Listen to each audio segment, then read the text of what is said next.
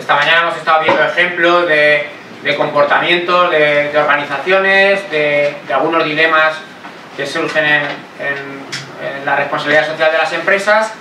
Todos tenemos esa responsabilidad. Vamos a empezar con, con don Vicente Martínez Medina, que es el vicepresidente del Grupo de Entidades Sociales eh, CECAP y que bueno, pues os va a hablar de, sobre todo de la responsabilidad social de la empresa. Y... Bueno, buenos días a todos. Primero agradecer a la Universidad de Castilla-La Mancha de la Cátedra de Santander el que nos pueda permitir y dar la oportunidad de presentar nuestros trabajos. Em, también agradecer vuestra participación y también agradecer a mis dos acompañantes hoy que sé además el esfuerzo que han hecho para cuadrar las agendas y poder presentaros de forma personal lo que están trabajando dentro de sus empresas en lo relacionado a la responsabilidad social empresarial. Ya sabéis que la responsabilidad social es un concepto ya antiguo, en los últimos años está adquiriendo una gran importancia, principalmente derivada de la crisis económica. Los que nos dedicamos a gestionar empresas vemos la responsabilidad social empresarial como un arma al servicio de la sociedad y que tiene sus resultados empresariales. Y los que nos dedicamos a gestionar empresas siempre hablamos de resultados empresariales. Me acompañan a mi izquierda Víctor Vázquez, que es director gerente de Deprit, es una empresa que se dedica a gestionar escuelas municipales de idioma, que está experimentando un gran crecimiento en estos últimos años, en el coche lo estamos hablando y es espectacular lo que están haciendo, y Eduardo Sánchez, que es el, responsable del área social y cultural de Sol y Seguros, que ya sabéis que es una compañía de seguros provincial, provincial muy bien posicionada, y bueno, y más que nada están colaborando con las entidades que yo represento, que luego haré una pequeña presentación de, de, dónde, procedo, de dónde procedo, y están implantando responsabilidad social, además de más de lo que están implantando, también están pivotando con nuestras entidades sociales. Eh, yo he dividido principalmente esta presentación en, cuatro bloques. Eh, uno voy a hablar un poquito de lo que es la visión global de la responsabilidad social. Yo creo que ya muchos de vosotros ya la tenéis familiarizada, pero bueno, os quería dar, y si me lo permitís, mi visión personal. Otro segundo bloque, que ya ahora vamos a hablar del modelo de colaboración entre empresa y el tercer sector, que es un modelo de colaboración que yo defiendo, que llevamos trabajando ya cerca de 10 años con muy buenos resultados. Voy a hablar un poquito de lo que es las ventajas de este modelo de colaboración y cómo funciona, más que nada para ver, eh, para que veáis de una forma más práctica, bueno, porque yo también he estado y estoy muchas veces en el otro lado, ¿no? Y siempre cuando hablamos con Pedro y hablamos con los profesores y tal, decimos, bueno, que es importante que ellos vean una visión práctica de las cosas. Luego pasamos a un tercer bloque, en la cual, eh, después de presentaros unos cuantos vídeos sobre la responsabilidad social que nosotros estamos desarrollando con la gente que me acompaña, que ellos saben un poquito de sus inquietudes, iniciativas y de cómo surgió todo esto, además de lo que ellos están haciendo en su empresa, y acabamos con unas conclusiones. Disculpar, por favor, porque tenía pendiente la presencia del presidente del Club Deportivo Toledo, de Fernando Collado, eh, se os transmiten las disculpas, pero ahora ha surgido en Madrid una reunión de ultimísima hora que no ha podido cambiar, entonces, bueno, de todas formas, Eduardo como son Solis es un principal patrocinador y yo que soy un poco el que, eh, el que estoy pivotando con su, como su herramienta de responsabilidad social, pues intentamos, en el caso de que tengáis alguna duda o cuestión después de presentarlo, poder hablar. Os pido en todo caso que esto se hace más o menos cuando en vez de yo meter la chapa, que seguro que la voy a meter, ya lo hago eso, pero luego ellos ya van a hablar de las cosas bonitas, pues que haya una interacción y que vosotros también intentéis participar. Así que luego al final de todo intentamos conseguir esa interacción y cualquier duda, cualquier consulta, cualquier reflexión podemos hablarla tranquilamente y si no sabemos responderos, aquí tenemos nuestro contacto para buscar como sea la forma de, solucionar las historias. Bueno, dentro de una visión global de la responsabilidad social, yo, eh, si me lo permitís, lo voy a dividir en seis claves fundamentales. Primero es un compromiso voluntario que nace del empresario. El empresario tiene una voluntariedad por parte de la empresa que va más allá de las normas legales establecidas. Esto no surge por cualquier cosa, es decir, evidentemente es un compromiso que nace de la voluntariedad de la empresa porque corresponde a la, la responsabilidad social corresponde a la personalidad de la propia empresa, pero responde a lo que es una demanda social, una exigencia social. Yo cuando en mis primeras clases de empresariales, y a lo mejor Víctor que también ha estudiado empresariales, me lo puede colaborar, cuando nuestras primeras clases de empresariales nos decían, oye, que cuando hay necesidad hay un mercado, y cuando hay un mercado hay negocio. Bueno, pues aquí también lo hay, en el buen sentido de la palabra, y no es estricto, es un negocio ético. Pero sí que ahora mismo ya la sociedad está demandando que las actuaciones de las empresas sean positivas, tengan un impacto positivo sobre la sociedad. Si veis la sexta, por ejemplo, cuando ponemos la tele a las 2 de la tarde, estamos viendo ejemplos de empresas que no son nada socialmente responsables, Caja Madrid con las tarjetas black, etcétera, etcétera, etcétera. Bueno, pues la sociedad cada vez demanda que las actuaciones por parte de la empresa sean positivas. Es una estrategia corporativa contra cualquier obra social. Si aquí algunos de vosotros vais a gestionar empresas o vais a estar relacionado con gente que está gestionando empresas, vais a dar cuenta de que siempre los gestores hablamos de estrategias corporativas. Evidentemente, la responsabilidad social ya en los últimos años está adquiriendo una tendencia de que, oye, que esto es una estrategia corporativa. No tiene nada que ver con la filantropía. Algo tiene que ver en que parte de la sensibilidad y de la voluntariedad de un empresario, pero tiene, tenemos que englobarlo dentro de una estrategia, principalmente por dos razones. Primero, porque tiene que generar un modelo de valor dentro de nuestro modelo de gestión empresarial. Tiene que ser una estrategia más como cuando lanzamos una campaña publicitaria en la cual hay una estrategia de marketing y tenemos como objetivo el conseguir un 3% más de cuota de mercado. Pues la estrategia empresarial basada en responsabilidad social también, lo que pasa es que está muy ligada y muy relacionada con la ética. Y en segundo lugar, porque la filantropía del empresario es efímera, es muy a corto plazo. Es decir, un empresario puede levantarse muy filantrópico un día y decir, quiero hacer el bien, y acostarse el mismo día diciendo, no quiero hacer más el bien. ¿no? Pero cuando nosotros incorporamos la responsabilidad social como dentro de una estrategia corporativa, ya le estamos dando objetivos a largo plazo. Y el objetivo a largo plazo, por excelencia, es la sostenibilidad. Tenemos que hacer que la ética empresarial sea sostenible. Independencia del tamaño de la empresa. Esto es algo que yo llevo 10 años hablando de esto y cuando nos encontramos con grandes empresas, las empresas, de hecho, llegó un momento hace unos años que me decían, no, cuando hablamos de grandes empresas de responsabilidad social corporativa, cuando hablamos de pymes es responsabilidad social empresarial. Digo, bueno, es lo mismo, ¿no? Es independientemente del tamaño de la empresa. ¿Por qué? Porque, todas porque la responsabilidad social está muy ligada y muy relacionada directamente con la ética del empresario. Y cualquier empresa genera un impacto social el concepto de empresa es que la empresa es una organización humana. ¿Por qué? Porque está formada por personas. ¿no? Entonces, cualquier decisión que tomemos dentro de nuestra empresa tiene un impacto social. Por lo tanto, es independiente del, tamaño de la empresa. Es cierto que las grandes empresas tienen más recursos, tienen mayor conocimiento. Yo he enfrentado a técnicos y directivos de responsabilidad social empresarial de grandes empresas y bueno, y ha sido reuniones muy fructíferas. Pero la pequeña empresa también tiene sus fortalezas, ¿no? La agilidad en la toma de decisiones, la flexibilidad que le permita adaptarse a los cambios en el entorno. Menos recursos, ¿vale? Pero de alguna forma, a través de colaboraciones como la nuestra, se pueden conseguir. Siempre la responsabilidad social tiene un fin colaborativo. Genera ventajas competitivas, es fuente de ventajas competitivas. Tenemos que entender que está muy ligada a la gestión empresarial y a la competitividad. Estamos en una competencia directa. Yo cuando empecé a trabajar en el sector social nadie hablaba de competencia, pero ¿cómo no va a haber competencia? Hay otras entidades sociales que quieren gestionar proyectos como los míos, que quieren acaparar una mayor inversión, etc. Pero, está, pero genera ventaja competitiva sobre todo como la diferenciación. ¿Por qué? Porque es importante la intangibilidad de la empresa, es importante lo que nosotros proyectamos al exterior. Por lo tanto, si proyectamos algo diferente de lo que proyectan los competidores, entonces estamos generando mayor competitividad, estamos generando ventajas frente a los competidores.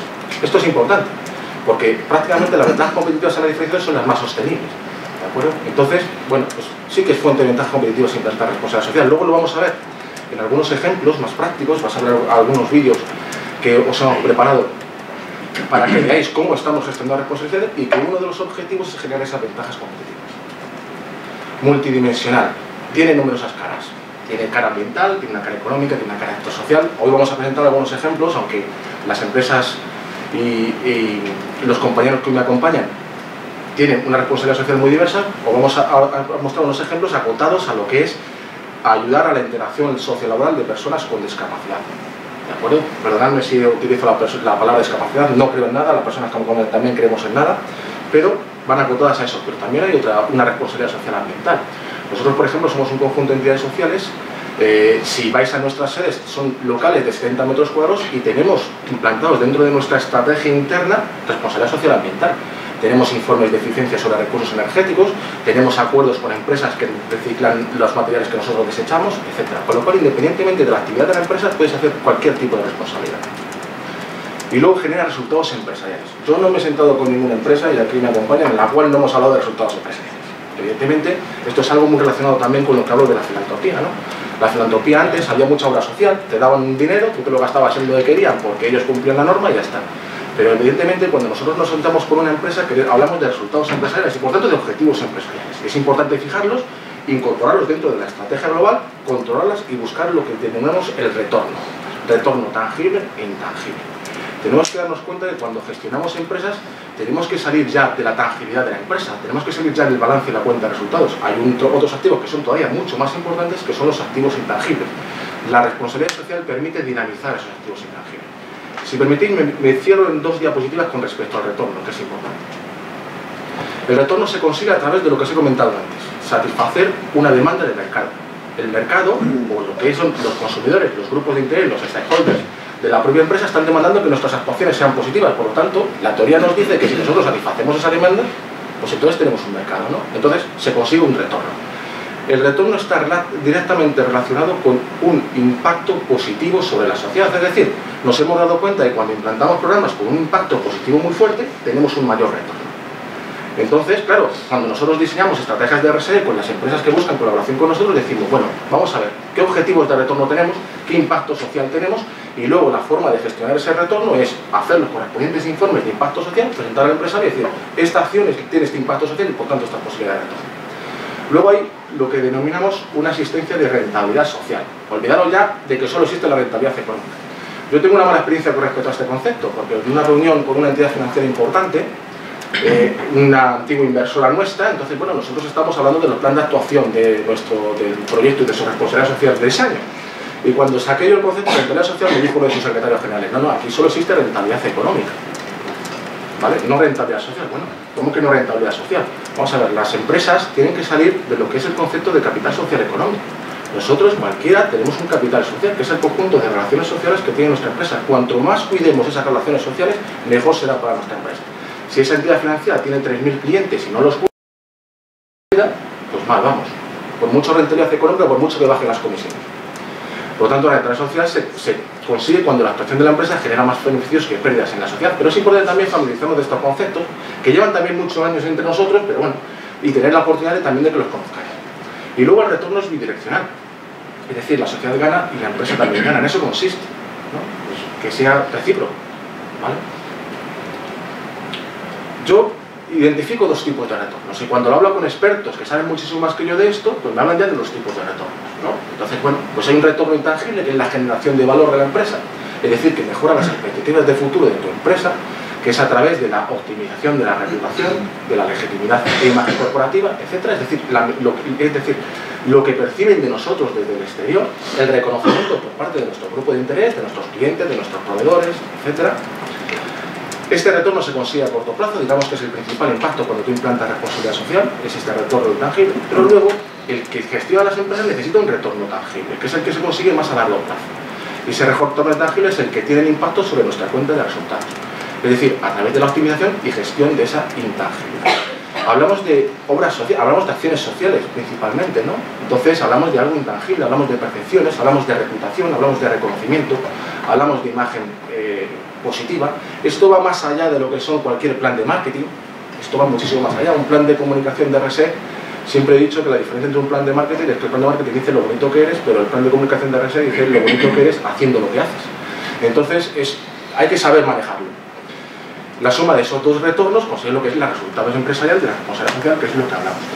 Eh, el problema de todo esto, yo tengo un buen amigo, tenemos un buen amigo, profesor de Universidad de Granada, que dice, oye, lo, dice, lo que no se cuantifica no se gestiona, es cierto, ¿no? Entonces, el problema de esto es cómo gestionamos la intangibilidad de nuestra empresa cuando no se cuantifica. Ahora, hay los perímetros de internet, hay muchísimos estudios que hablan de lo que es el valor de la reputación, del valor de la marca, de cuánto cuesta una marca, etcétera, etcétera. Bien, sí, ahora mismo hay estudios que las propias empresas lo hacen para saber cuánto vale su marca.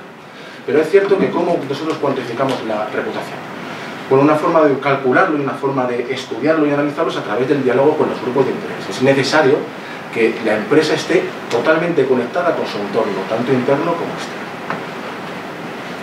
Reflexionemos, por tanto. Marco una reflexión, si queréis luego, después de toda la presentación, podemos discutirla, todo lo que queréis. Yo me permitís, y gracias a que me han dado la oportunidad de poder deciros mi opinión personal, luego ya, ya hablamos tranquilamente. La responsabilidad social aumenta los beneficios económicos de la empresa Vale, os doy mi opinión personal y luego si queréis la discutimos. Sí, pero no por sí sola. Es decir, contribuye, sí, pero no por sí sola. Mirad, cuando nosotros compramos un producto nos fijamos en diferentes atributos. ¿no? Aquí los que, si habéis estudiado marketing, pues lo sabéis bien. Está su atributo físico, es decir, la, que es el tema de cómo si es bonito el producto, su precio, su calidad, etc. Y nosotros ponderamos en función de esos atributos. A veces tiramos más de lo bonito que es dándonos igual el precio, a veces no nos podemos permitir determinados precios, ¿vale? Pues ahora se están dentro de esos atributos en nuestro proceso de decisión de compra, están incorporándose otros, como el de reputación, como es el reconocimiento de la empresa. Hay un estudio que demuestra que las 10 empresas más reputadas son las que tienen 10 empresas que más ganan. Esta mañana, por ejemplo, leí un estudio en el cual dice que las empresas más reputadas del IBEX 35 aumentan un 6% su cotización en bolsa. Entonces, bueno, la reputación ya está interviniendo en el proceso de decisión de compra. Daros cuenta ya, en vez de un más, concreto, algo todavía mucho más general daros cuenta que la satisfacción siempre genera mercado, ¿no? Nosotros siempre nos han enseñado, oye, si tú generas una satisfacción en tu cliente, tú tienes una fidelización y puedes aumentar tu costo. Si ellos tienen una demanda que es que tu actuación sea positiva, podemos influir en esa situación. Para los que estudian relaciones laborales, la satisfacción del trabajador siempre incrementa la productividad, eso ya lo sabemos, ¿no? El trabajador contento es mucho más productivo. Si tú aplicas al 100% el convenio de colectivo o bien aplicas al 100% o haces un convenio de empresa, la satisfacción del trabajador estará garantizada. Una implantación de responsabilidad social, ética y responsable se basa principalmente en cumplir la normativa, es la base de todo. Por lo tanto, si aplicas bien el convenio, tienes un trabajo satisfecho y, en teoría debe de incrementar la productividad. Por lo tanto, sí una relación. A lo mejor no tan directa, porque nace de una intangibilidad, pero sí una relación y puede tener un impacto positivo en la cuenta de resultados. Luego, si queréis, lo discutimos y hablamos. Bueno, el segundo bloque ya me meto más en, lo que somos eh, nosotros y ya en lo que trabajamos con, las personas que, que me acompañan. Bueno, nosotros somos un grupo de entidades que trabajamos por la restitución de los derechos de las personas con discapacidad. Yo cuando entré eh, me encontré con un sector prácticamente que no hablaba de empresa. ¿no? Yo hace 10 años que trabajo en esto y yo cuando me metí en el sector social en el tercer sector no se hablaba nada de empresa. Y yo tenía un reto personal, ¿no? que es de mis empresas hacer un modelo empresarial fuerte, sostenible, con un modelo familiar y metodológico, que evidentemente es la base de todo, porque nosotros trabajamos con cerca de 170 familias. Eh, creamos un grupo empresarial, eh, que es el que veis ahí, donde está el servicio de capacidad CECAP, que es nuestra matriz metodológica, trabajamos con 170 familias en esta entidad. Em, aquí hay 26 profesionales de muy diversas disciplinas, están técnicos de integración social, psicólogos, luego ya hay más profesionales que nos dedican más al mundo de la empresa, economistas, etcétera. CK Jóvenes es una asociación juvenil, es una asociación que tiene su particularidad, porque hay 110 socios y son personas con discapacidad intelectual. Entonces os podéis imaginar cuando hacemos las asambleas de socios, pues que ellos tienen participación y voto dentro de la asamblea. Pero bueno, es un modelo donde buscan la participación activa del participante. ¿vale? Luego está Futurvalía, que es la que más está relacionada con el empleo. De hecho, las personas que acompañan tienen una relación más estrecha directa, porque el 98% de las familias tienen un interés y el 98% de nuestros participantes tiene un interés, que es encontrar empleo, como cualquier hijo de vecino, seguramente como cualquiera de vosotros, ¿no? Pues ellos también. Pues quieren buscar el empleo, pues Futurvalia digamos que es una herramienta al servicio de la empresa a su servicio para que puedan buscar esas oportunidades laborales. Y luego la última eh, creación, hace dos años, fue la Fundación CIES, cuyo patronato está compuesto por el resto de entidades. Hicimos la Fundación CIES por dos objetivos principales. Un objetivo que era, debido a la crisis, poder acceder a programas con mayores colectivos, con otros colectivos, colectivos que no fuesen los de la discapacidad, y luego, evidentemente, hubo un objetivo empresarial, y es que la Fundación, como sabéis, pues tiene por la ley de mercado una serie de deducciones fiscales que son atractivas para la inversión privada. Por lo tanto, buscábamos inversión privada a través de la Fundación y, eh, de hecho, solo se financia con, inversión privada entre algunos inversores de los que hoy me acompañan. Entonces, nosotros eh, trabajamos por la restitución de los derechos, pero con un modelo empresarial. De tal forma que cuando nosotros hablamos de responsabilidad social, si leéis nuestros estatutos, pues ahí la responsabilidad social viene por todo, están en todos sitios, evidentemente, porque trabajamos dentro de un sector que es el sector social. Pero cuando nosotros nos tenemos que alinear con el sector privado o el sector público, hablamos de que somos herramientas al, servicio de esta gente para implantar responsabilidad social empresarial, a través de un modelo colaborativo muy estrecho.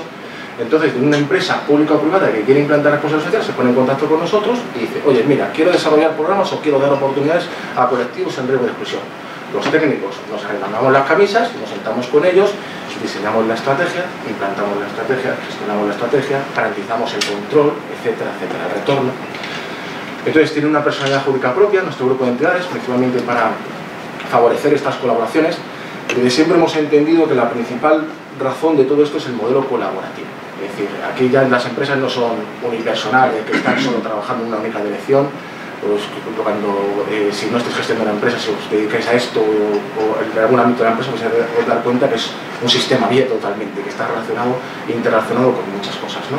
Bueno, pues hicimos esto principalmente para favorecer esos modelos de colaboración. Entonces, cuando una empresa, por ejemplo, como las que hoy me acompaña, que quiere cumplir las medidas alternativas, que es una ley del 96 que nadie las cumple, que dice que para plantillas de 50 o más trabajadores tienen que tener al menos un 2% de personas con discapacidad en esa plantilla, es decir, que para, una ley a nivel nacional en la cual dice que las empresas con 50 o más trabajadores, cada 50 trabajadores tienen que tener una persona con discapacidad, eso prácticamente no lo cumple casi nadie, pues nosotros tenemos varias opciones.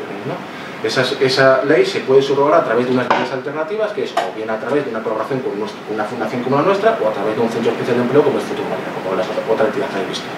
Por lo tanto, lo hicimos así como una, también como una estrategia de mercado. Y luego el modelo de colaboración, una de las grandes complicidades que nos enfrentamos es que el modelo de colaboración exige una relación muy estrecha, muy estrecha con las empresas con las que estamos. Daros cuenta que la responsabilidad social tiene un concepto intrínseco, está relacionado mucho con la cultura organizacional, con sus propios valores. Entonces, cuando nosotros nos metemos a dinamizar esos valores siendo una empresa externa, establece una relación muy, muy estrecha. Gracias a Dios, nosotros colaboramos ahora con 45 empresas. He traído eh, y me acompañan hoy de otras empresas más representativas, pues la colaboración es mucho más estrecha, pero daros cuenta que cuando nosotros estamos implantando su responsabilidad social, estamos metiéndolo en su cultura organizativa, en sus valores, en sus valores compartidos, en su personalidad, ¿no? Entonces es algo bastante complicado de gestionar, que siempre que, gracias a Dios nunca ha pasado nada, que siempre que la primera reunión lo dejamos todo claro, que sepas que yo me voy a entrar en tu empresa y yo necesito que también entres en la mía, ¿no? Entonces ese modelo de colaboración es muy exigente.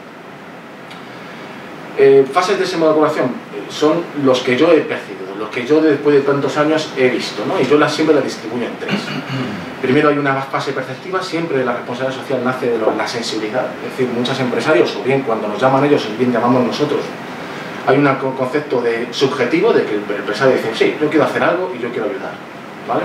Esa sensibilidad se convierte en un compromiso y luego ese compromiso se transforma en lo que es una estrategia, ¿no? que es la parte ya técnica, que es cuando nos metemos ya los profesionales como yo a dar la murga y a presentar este tipo de cosas y decir, oye, que esto va dentro de tu estrategia global, vamos a conseguir estos objetivos, tenemos que trabajar para conseguir esos objetivos, etc. Que una figura muy importante que es la Comisión de Gestión y Control, en la cual son representantes de ambas empresas, son mesas de trabajo en la cual ambas empresas eh, ponen sus técnicos a disposición de la estrategia, ¿no? Principalmente, ¿por qué?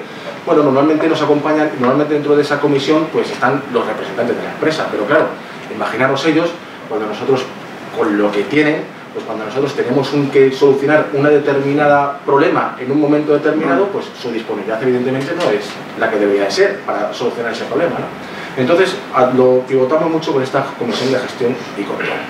Luego hay una formalización del acuerdo de colaboración en esto financiación. ¿Por qué? Porque la responsabilidad social siempre parte del lápiz estratégico, siempre parte del equipo directivo. Y es el equipo directivo el que tiene que traspasarlo a toda la organización. Es decir, la responsabilidad social no se puede quedar en los accionistas, o no se puede quedar en el director de recursos humanos, o no se puede quedar en el director financiero, etc. Tienen que ser conocidas por todos y tienen que ser compartidas por todos y aceptadas por todos. Por lo tanto, hay una fase ahí de comunicación y una fase de información al resto de sus grupos de interés importantes. Y luego la última fase que es la impacto y retorno. Es como cualquier estrategia, como la que os he comentado antes, por ejemplo, pues una estrategia comercial que lanzamos un plan de marketing con el objetivo de incrementar la cuota de mercado. Pues esto es igual, lanzamos una estrategia de responsabilidad social con el objetivo de incrementar la reputación de nuestra empresa, que es lo más difícil de gestionar, porque estamos, como os he dicho antes, gestionando ¿Qué permite nuestro modelo de colaboración? Es decir, ¿qué permite que, eh, qué ventajas tiene que una empresa privada pivote con una entidad social para hacer programas sociales, es decir, para implantar responsabilidad social? Principalmente tres cosas. Primero, eficacia. ¿no? ¿Por qué? Pues cuando las empresas quieren realizar acciones en las cuales eh, sean beneficiadas personas con discapacidad, pues nadie mejor que las entidades sociales que trabajamos con este colectivo todos los días, conocemos la realidad de este colectivo, sabemos sus necesidades, pues entonces nadie mejor que nosotros para garantizar ese impacto social y por tanto luego, como os he dicho, el futuro retorno. Por lo tanto es necesario que esa eficacia sea. Entonces es una eficacia en la estrategia. Eficiencia. Bueno, aquí también lo hablamos el coche, hay que ser Siempre los recursos son escasos y las necesidades son limitadas. Por lo tanto, te encuentras siempre, cuando, quieres poner incluso las empresas que facturan millones y millones de euros tienen recursos escasos. ¿Qué pasa? Pues bueno, pues siempre está la eficiencia, ¿no? Eh, la tenemos interiorizada, tenemos que hacer las cosas de forma eficiente, al menor coste, ¿no? Conseguir los objetivos al menor coste. Además, nosotros permitimos, a través de nuestro modelo de colaboración, hacer recursos compartidos, es decir, nosotros también dinamizamos ayudas públicas, subvenciones, otros patrocinios, inversores, etcétera, que podemos dotarlos de recursos económicos a la, a la estrategia y dotarle de otras ventajas competitivas como por ejemplo la reducción de costes. Y luego la potenciación de ventajas competitivas, ¿no? es decir, es un modelo colaborativo que lo que buscamos son ventajas competitivas o lo que se llama valor compartido. Es decir, vamos a hacer esto juntos para tener unos objetivos compartidos, conseguir un valor compartido y conseguir unos resultados compartidos. Ellos que ganan, implantar su responsabilidad social de una forma sustancial, de una forma visible, porque bueno, cuando metéis a ver páginas web de muchas empresas, vais a ver que, lo que que muchas empresas llevan, llevan responsabilidad pero de una forma muy vacía, ¿no? Se meten en responsabilidad social, hablan de sus valores y tal, sí, pero ¿cómo aplican sus valores? Bueno, pues lo que conseguimos a través de nuestro modelo de colaboración es que sus valores sean implantados, sean prácticos. Y luego, evidentemente, esas ventajas de diferenciación lo que provocan es a través de nuestros modelos de comunicación que no tenemos que confundir reputación. Una buena reputación no se consigue con una buena comunicación. La comunicación da valor a la reputación, pero no solo con eso basta pero sea a través de nuestro modelo de comunicación, nuestro departamento de comunicación, en relación con sus departamentos de marketing, nuestros departamentos departamentos de comunicación o con la propia dirección de la empresa, pues establecemos esos planes de comunicación que nos permiten que nuestra responsabilidad social llegue a todos nuestros grupos de interés. ¿vale? Entonces, como veis, hay un montonazo de recursos compartidos que a través de ese modelo colaborativo pues conseguimos llegar a los grupos de interés, que al fin y al cabo es una de las cosas más complicadas a la hora de plantear responsabilidad social. Bueno, vamos, eh, no sé si tengo bien tiempo. Sí, vamos. Bueno, vamos, eh, es una pena que Fernando, porque eh, no haya podido venir para que él os explicase ya de una forma más personal, porque si le conocéis a Fernando, que es el presidente del Club Deportivo Toledo, es un tío que lleva la responsabilidad social a su máximo auge. Yo la primera vez que me reuní con Fernando me acuerdo que cuando entré a, expresar, a, ya habíamos trabajado sobre la estrategia de responsabilidad social del Club Deportivo Toledo, ahora voy a explicar unos pocos ápices. Y yo cuando me senté me di cuenta de que su despacho lo tiene lleno de eh, acciones sociales que ha hecho el club, ¿vale? y recuerdos de acciones sociales que ha hecho el club. Entonces, la reunión quedamos en dos cosas. En primer lugar, todas esas acciones integrarlas dentro de una estrategia global de responsabilidad social, ¿vale?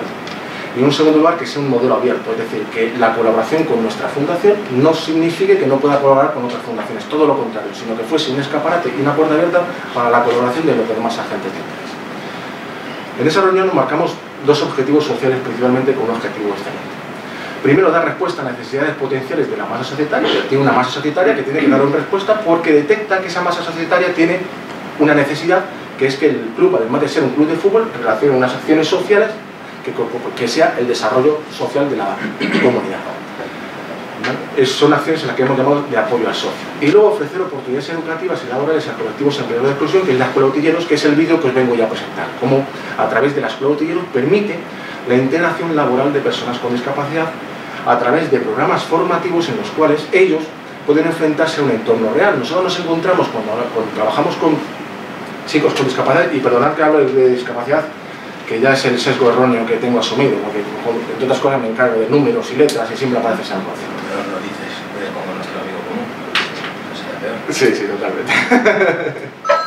Entonces, bueno, en ese concepto, cuando nosotros, eh, eh, cuando nosotros nos enfrentamos al interés de conseguir trabajo, nos encontramos con muchos casos, nos encontramos con chavales que perfectamente están, están preparados para tener un buen currículum, están preparados para acceder a un mercado laboral normalizado, pero nos encontramos con chavales que a lo mejor tienen 35 años y nunca han tenido una experiencia laboral.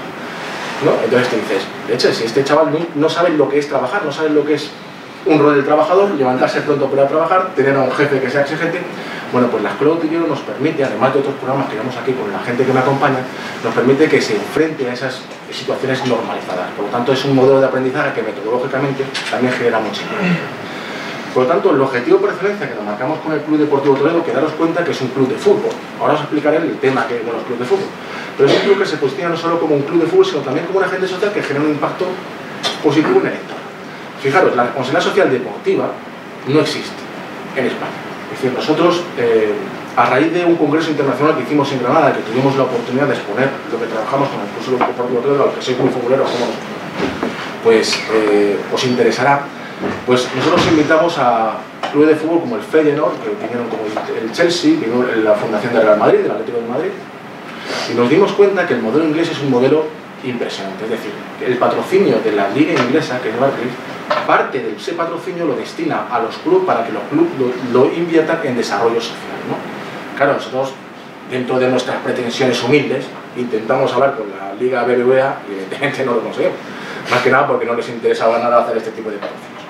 Pero imaginaros que el Club Deportivo Toledo, como cualquier otro club de fútbol que está dentro de una liga, puede recibir una financiación para invertir en el desarrollo local de su, de su localidad. Por lo tanto, uno de los grandes problemas que nos encontramos ahora de implantar responsabilidad es la falta de recursos, Entonces, muchas cosas de las que hemos hablado con el Club Deportivo Toledo y de los que estamos trabajando están muy exportadas del modelo inglés, con el su permiso, porque a, través de los hermanamientos que tenemos con el Club Deportivo Toledo y, y otros clubes de fútbol, como por ejemplo en Oporto, como por ejemplo en la Liga Inglesa, pues a través de los hermanamientos lo que hacemos es compartir experiencias y compartir estrategias. Los acciones de apoyo al socio nos centramos en algunas. Algunas están implantando, otras están por implantarse, pero ya están muy avanzadas. Por ejemplo, un boletín social informativo en el cual se pueda difundir y pueda, que los socios puedan tener información sobre las acciones sociales del club. Es decir, eh, si demandan, los socios demandan que el club, además de ser un club de fútbol, pues también eh, contribuya al impacto social positivo dentro del desarrollo de Toledo, pues entonces evidentemente que esté informado, ¿no? Lo mínimo. Pues entonces decidimos hacer un boletín social informativo a través de nuestro departamento de comunicación en, coordinación con Fernando, la confección de una bolsa de empleo, también eh, Fernando cuando hablamos decía, oye, tengo una masa de detalle en la cual, evidentemente, como a todo el mundo, siempre hay un familiar que la crisis económica desgraciadamente la ha dejado en paro, oye, pues ¿por qué no hacemos una bolsa de empleo para que sea como un canal de comunicación entre oferta y demanda y a través del club ellos tengan los contratos de las empresas que están ofertando? Pues a través de Futuro María, pues también tuvimos esa idea mejorar la comunicación entre el socio del club a través de las encuestas al socio. Evidentemente hay que mejorar los diálogos con los grupos de interés y para mejorar los diálogos lo que hay que preguntar, hay que hablar con ellos, bueno, a través de nuestro área social podemos permitir el diseño de las encuestas al socio para decir, oye, ¿qué es lo que te gusta del club? ¿Qué es lo que no te gusta? ¿Qué podemos cambiar? Etcétera. Confección de materiales didácticos, cuadernos educativos. Esto es una estrategia que se lleva a cabo en el Millwall inglés, que es un equipo de segunda división la cual era curioso porque no costaba nada y el impacto social era muy fuerte. Y una serie de cuadernillos en la cual eran relacionados al material educativo con la imagen del club. ¿no? Entonces, eh, a los socios les había encantado, era algo que no cuesta nada de dinero y el impacto social puede ser muy positivo. Entonces hablamos con el Bilbao para ver cómo lo hacían, ¿de acuerdo? Y les copiamos esa Ofrecer oportunidades a colectivos en riesgo de exclusión, creación de una aula formativa con docentes voluntarios en el estadio, que sirva como apoyo educativo a familias en recursos en riesgo de exclusión, el aula va a abrirse dentro de poco, el espacio lo ofrece el club. Por ejemplo, los materiales informáticos, ordenadores y tal, es una donación que ha recibido la Fundación FIES y que podemos dar a la eh, eh, infraestructura a este aula. Y bueno, y ahora la Escuela de Hoteleros que ahora voy a presentar a través de un vídeo que ofrece oportunidades laborales a personas con discapacidad. Si veis, son acciones que parecen aisladas, pero están integradas dentro de una estrategia global que va a un fin concreto, un objetivo concreto, que es dar respuesta a una necesidad de la masa societaria del club que permite objetivos, que permite conseguir resultados, primero intangibles y luego transformar intangibles, evidentemente lo que pide el Club de Toledo es que quiero que a través de la satisfacción de mis abonados consigan que todos los años el abono pues me lo, me lo vuelvan otra vez a renovar, ¿no? Pues bueno, pues a través de satisfacción estamos haciendo esto, ¿no? Que únicamente van a, renovar el abono por esta responsabilidad, pues a lo mejor no, pero algo contribuye. No sabemos en qué peso, porque depende de cada persona, pero sabemos que contribuye. Entonces, como objetivos estratégicos nos marcamos mejorar la reputación e imagen del club. Evidentemente, siempre la imagen y la reputación se puede mejorar, por muy buena que sea. Mejorar la relación y comunicación con el socio actual a través de la mejorando el diálogo. Es lo más difícil de lo que nos enfrentamos, el diálogo con los grupos de interés. Todas las empresas nos enfrentamos con este problema. ¿Cómo dialogas con los grupos de interés? Es decir, eh, cómo dialogas con tus clientes, cómo tus clientes conocen tu responsabilidad social, cómo cualquier, eh, toda la información que nos puedan dar nuestro entorno es muy útil para la gestión empresarial evidentemente la búsqueda de nuevos patrocinios y consolidación de los existentes, porque los patrocinadores buscan que sus marcas se asocien con los valores del club. Por lo tanto, claro, y el club deportivo evidentemente necesita mantener esos patrocinadores o buscar unos nuevos. Entonces necesita que sus valores se exalten de forma que se identifiquen esos patrocinios. ¿no? Aquí está Eduardo, que es un representante uno de los principales patrocinadores del Club Deportivo Toledo, que es, que mejor que para aplicarnos esto. Os voy a enseñar el libro de lo que es, el vídeo, perdón, de lo que es la Escuela de Utilleros, para que veáis cómo eh, trabaja eh, eh, cómo se ve visible su implantación de responsabilidad social. Como os digo, todo esto tiene sus objetivos que os he comentado, pero que veis que prácticamente a muy bajo coste se puede hacer un impacto positivo dentro de la sociedad. A, vais a ver cómo David, que es el chaval con discapacidad que está trabajando dentro del departamento de utillaje del Club Deportivo Toledo, trabaja mano a mano con Santi, que es el jefe de utilleros, que aquí agradecemos su labor, que hace una labor impresionante.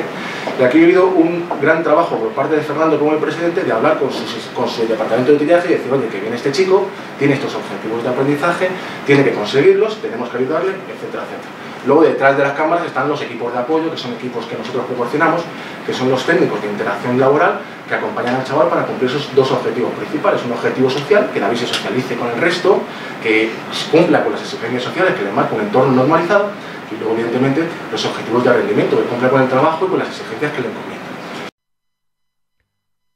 Santiago, Abel y David conforman el equipo de utilleros del Club Deportivo Toledo. David es un joven con especificidad que realiza su voluntariado formativo en la Escuela de Utilleros del Club Deportivo Toledo. Con el apoyo natural de Santiago, el utillero del club selecciona la ropa sucia, programa las lavadoras y ordena las 30 mudas limpias que utilizan cada día los jugadores y técnicos de la plantilla. Venga, muy bien David.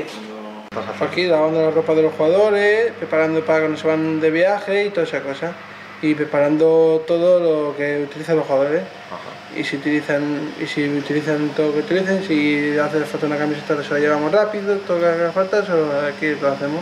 No, David, no. Como, eso sí, eso sí. No se te olvide nunca que es importante, no es igual doblarlo de una manera que de otra. Sí, señor, David. Muy bien, ponla encima de la toallita. Y ahora el pantalón y los calcetines.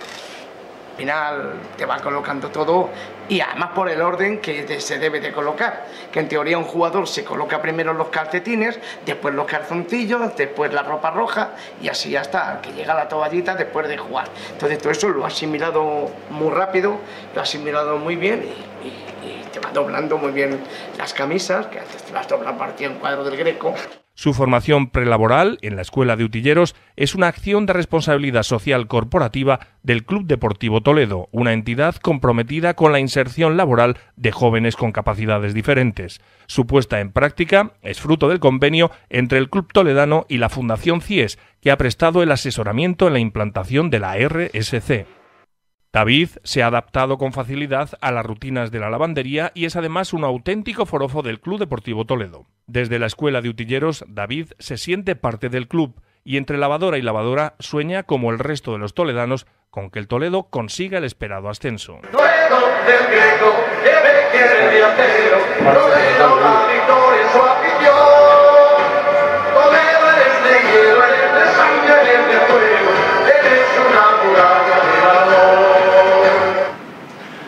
Bueno, aquí habéis podido ver cómo el trabajo de Santi es fundamental, ¿no? Porque está dentro de los objetivos sociales que nos hemos marcado con David, que es que sea eh, bueno haciendo su trabajo, ¿no? Eh, aquí hay también una labor de la empresa para que eh, explique a Santi y al equipo de utillaje cómo tiene que trabajar con él, que entiendan que va un chaval para ayudarle, etcétera, ¿no? Es una implantación de responsabilidad social práctica totalmente, que además luego el club la puede utilizar dentro de su, plan de comunicación de RSE diciendo, oye, mira, que nosotros además de ser un club de fútbol también hacemos todo esto, con lo cual genera valor al modelo de gestión, que es lo que se trata, ¿no? Al final de todo, cuando desde el punto de vista gerencial es fundamental. Bien, pasamos a la, siguiente ejemplo, que es el de, de la empresa de, de Víctor, que es de PRI. ¿Vale? Desde un primer momento la sintonía fue, muy buena, además nos eh, puso un cambio en común en contacto, nos pudimos sentar a hablar y desde un primer momento Víctor trasladó que él quería, dentro de su organigrama de trabajo, eh, incorporar a trabajadores con discapacidad intelectual. estamos, hablando de que son chavales que se enfrentan, si nosotros nos enfrentamos a un 30% de paro, estos chicos se enfrentan a un 86% de tasa de paro y las mujeres con discapacidad intelectual a un 92%. Y además no hay, fiabilidad en los, datos porque muchos de ellos no se registran. Por lo tanto, estamos viendo que el impacto social a través de una contratación, un contrato de trabajo a este tipo de colectivos es muy fuerte. Y por lo tanto, como ya os he dicho antes, cuanto mayor impacto social, mayores son los objetivos de retorno. Bueno, desde un primer momento la demanda fue y la exigencia fue fuerte por parte de Víctor, oye, yo quiero incorporar dentro de mi organigrama personas con discapacidad y derivar mi responsabilidad social a dar oportunidades laborales a este tipo de colectivos. Cuando nosotros analizamos este tema, este cuando nosotros analizamos todo esto, esto no surge de nada de la nada. Nosotros lo que primero analizamos es la cultura organizacional de la empresa de Víctor para ver si eh, cumple con los requisitos, porque muchas veces nos hemos encontrado de que no estaba preparada la empresa para este tipo de proyectos. Y el proyecto, en vez de ser beneficioso, ha sido perjudicial para todos. Nosotros, en estos 10 años de vida que llevamos, nos hemos encontrado con numerosas empresas. Empresas que quieren hacer las cosas bien y otras empresas que no quieren hacer las cosas tan bien. Por lo tanto, nosotros lo primero que analizamos es la empresa para decir, mira, esta empresa tiene una responsabilidad, una ética, unos valores muy arraigados y por lo tanto nosotros podemos conveniar con ellos y poder trabajar en este sentido. De acuerdo que el primer análisis que hizo Loli, que es una compañera mía que es directora de relaciones laborales, lo primero que analizamos es el perfil de trabajadores por parte del PRI. Y si ahora vais a ver el vídeo, PRI es una empresa muy joven, muy dinámica, que genera muy buen rollo, ¿no? Entonces, cuando hablábamos del proceso de selección adaptado a ese perfil, que además era un perfil que exige, que exige la- el Departamento de Recursos Humanos de Víctor, pues decíamos, oye, hay que tener cuidado porque ese perfil, ese proceso de selección tiene que tener esas cualidades. Entonces, el chaval, o chico o chica que va a ser contratada, tiene que tener también, además de, de otros tipos de cualidades, pues también tiene que ser social, joven, dinámico, etcétera, ¿no? Entonces fue un proceso de selección muy, muy exigente, donde nos marcamos, nuestros procesos de selección son diferentes al del resto de entidades sociales, porque si nosotros tiramos de los currículums de los chavales no consiguen empleo en la vida, porque evidentemente nos enfrentamos a unos currículums que no cumplen con las exigencias de un modelo de recursos humanos normalizado. ¿no? Entonces, ¿qué pasa? Que nosotros hacemos los procesos de selección en busca de las capacidades, de las habilidades y destrezas por parte de la persona, a través de un modelo muy individualizado. Los procesos de selección son bastante exigentes, duran bastante y buscamos siempre la colaboración de la empresa. De hecho, luego el visto bueno, porque es trabajador suyo, el visto bueno lo tiene que dar la empresa. Nosotros en las primeras reuniones con Debrino presentamos varios objetivos sociales. Ofrecer oportunidades laborales normalizadas a través de la contratación. Evidentemente sabíamos que el impacto social estaba garantizado. Decir, contrato de trabajo ahora mismo es importante ¿no? para cualquier persona. Pues imaginaos para una persona con discapacidad intelectual que dan por hecho de que nunca van a trabajar. Por lo tanto, ya nos marcamos como primer objetivo, oye, esto hay que derivarlo en contratos y por lo tanto hay que hacer un fuerte proceso de selección, el impacto social está controlado, tenemos que hacerlo así, etc. Y luego el cumplimiento de la legislación os he comentado de la LISMI, para aquellos que estudian relaciones laborales y luego estéis trabajando en una gran empresa, por favor, cumplir la LISMI, os lo digo, es una, es una ley del 86, no, no sé cómo no se cumple, pero por favor, cuando con, cuando dirigís recursos humanos, sabéis que hay una ley que tiene que cumplirla. Y bueno, y luego también tenía esa base normativa, aunque esa base normativa era lo que menos importaba, porque partía de la voluntariedad por parte de Víctor y el, y el equipo de Víctor, la voluntariedad de querer centralizar en sus organigramas dentro a personas con discapacidad. Luego tenía otras connotaciones, ¿no? Mejorar la imagen de Embrid, A través de publicitar y difundir este tipo de acciones, etc. Entonces, la fórmula de contratación que diseñamos es a través de nuestro Centro Especial de Empleo, donde demanda un servicio, que concretamente son los servicios de ordenanza de sus escuelas municipales, yo creo que está gestionando, ahora os comentará Víctor, un montonazo de escuelas municipales, y bueno, dentro de esos servicios de ordenanza subcontratarlo a través de nuestro Centro Especial de Empleo, nosotros hacer la contratación y eh, lo que es eh, la selección y contratación del trabajador con discapacidad y luego prestar el servicio de esa ordenanza ¿de acuerdo? Ahí ya hay una viabilidad económica que nosotros tenemos que garantizar, etcétera, y a través de esa prestación de servicios, pues que puedan formar parte de su, de su organigrama. Ahí veis otro, otro logo que es CK, la cual, porque la matriz metodológica, la que realiza el apoyo a esos trabajadores en su puesto de trabajo, lo realizan los profesionales de CK, que son profesionales especialistas en que el chaval pues, tenga su rendimiento adecuado, no genere conflictos, etcétera, etcétera. ¿no? Entonces, esta es la fórmula que, diseñamos a través del Centro Especial de Empleo. Los objetivos que nos marcamos, pues una mejora de reputación y imagen corporativa, si veis los primeros objetivos que se marcan siempre son intangibles, evidentemente, estamos hablando de acciones sociales, ¿no? Que mejorar la percepción exterior o interior, es decir, porque sabíamos que, pues lo sabemos desde hace muchos años, que las personas con discapacidad algo que hacen muy bien, muy bien, muy bien, es que reaccionan un muy buen entorno laboral, es decir, eh, son muy buenos en el entorno laboral porque eh, ellos por sí solos, pues, eh, generan muy buen rollo. Entonces, por lo tanto, sabíamos que podríamos funcionar esa fórmula y ese sistema híbrido entre los profesionales los trabajadores del BRID y nuestros, y nuestros chicos. ¿no? Cumplimiento de la normativa, importancia de la comunicación, siempre hablamos del poder de la comunicación, no como única herramienta, sino como generar valor a la estrategia global, es decir, es importante que el que no comunica no existe. Por lo tanto, hablamos de que están muy relacionados este, dentro de esa comisión de seguimiento y control, nuestro director de comunicación, que, con eh, los departamentos de marketing y de BRID para hacer una estrategia conjunta, un plan de comunicación conjunto implantarlo, desde cambiar la página web, introducir en la página web la pestaña de responsabilidad social, hasta, por ejemplo, pues bueno, pues llegar a encuentros como este que, que, que nos sirven para poner en valor lo que estamos trabajando. Y luego las ventajas competitivas basadas en la diferenciación, es decir, no hay ninguna empresa que gestione escuelas municipales que tenga este tipo de, de proyecto. ¿no? Entonces, bueno, pues esas ventajas de diferenciación que le permiten a DeadBeat pues, conseguir que están un puntito por encima de la, de la competencia. Con lo cual, ¿qué va a mejorar? Pues, pues conseguir mejores acuerdos eh, con proveedores, con, sus, con, eh, con órganos gubernamentales, con otras empresas, etcétera, etcétera. ¿no? Entonces, además que ha sido muy bien visto y la respuesta por parte de su grupo de interés ha sido muy positiva, por lo tanto, también ganamos en esa reputación y en ese reconocimiento que buscamos por parte de sus alumnos, por parte de las familias de sus alumnos, etcétera, etcétera. Paso a presentaros el vídeo y doy paso a Víctor ya para que él os cuente más concretamente todo. Detrás de esta marca hay una gran empresa que trabaja cada día por ser socialmente responsable. GetBreed está presente en cinco comunidades autónomas, con más de 200 escuelas municipales de idiomas. Este curso ha superado los 18.000 alumnos atendidos por más de 200 profesionales. Desde 2013 trabaja en responsabilidad social empresarial, incorporando a su plantilla profesionales con capacidades diferentes para labores administrativas, gracias a un acuerdo de colaboración con el grupo de entidades TK. Un ejemplo de este acuerdo es la Escuela Municipal de Idiomas de Illescas, donde Elizabeth desempeña su trabajo como ordenanza.